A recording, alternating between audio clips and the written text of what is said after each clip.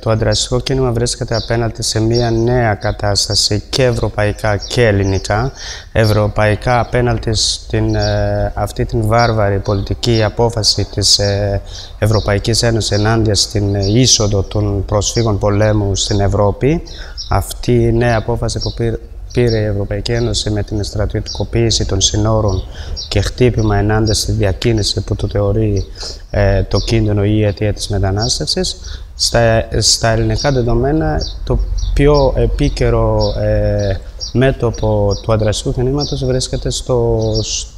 απέναντι στην πολιτική της κράτησης, τα κέντρα κράτηση, τα στρατόπεδα συγκέντρωσης που μεν ο ΣΥΡΙΖΑ είχε υποσχεθεί, η κυβέρνηση του ΣΥΡΙΖΑ είχε υποσχεθεί ότι θα κλείσει και εξακολουθεί να, να λειτουργούν και εξακολουθεί να γεμίζει πάλι με νέους μετανάστες, πρόσφυγες, πολέμου που φτάνουν στην Ελλάδα και βρίσκονται χωρίς χαρτιά. Προφανώς υπάρχουν ζητήματα που το εκδικούμε όπως είναι η, η μία νέα νομοποίηση των μεταναστών που ε, ζουν και εργάζονται πάρα πολλά χρόνια εδώ στην Ελλάδα. Υπάρχει το ζήτημα της ε, νομοποίησης των απονομοποιημένων μεταναστών που χάσανε τα χαρτιά τους στη διάρκεια της κρίσης και δεν, ε, δεν μπορούσαν να συμπληρώσουν τα ένσημα που χρειάζεται ε, για, να, για την ανανέωσή του. Υπάρχει το ζήτημα της βελτίωσης του πολιτικού ασύλου, του σύστημα πολιτικού ασύλου, την πρόσβαση